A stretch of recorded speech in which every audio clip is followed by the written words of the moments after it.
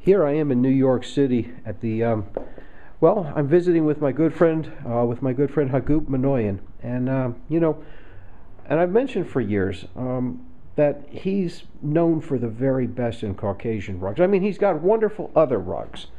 But, but among the dealers, he really stands out as one of the guys to see for the Caucasian pieces. And then um, this one, I got him to pull this one out for me. The color's fantastic.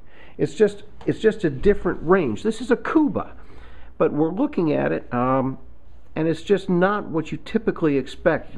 Kubas are generally much darker and not nearly so happy.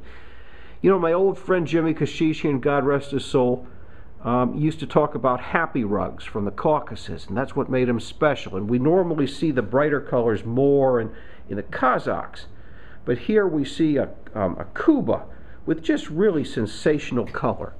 You know, this piece is really nice. Um, the, you know, the end finishes, uh, the end finishes are very typical of Kuba. But we have something over here that's very special. Let me get this just right. Okay, uh, it's dated uh, 1314. Now, that comes out to, um, we convert that to over to 1897. So this is a good old rug wonderful color, really pretty piece. And as we go up and we take a look at the, the subtle tones, much more subtle than we usually see in a Kuba. This is one of the best I've seen in ages.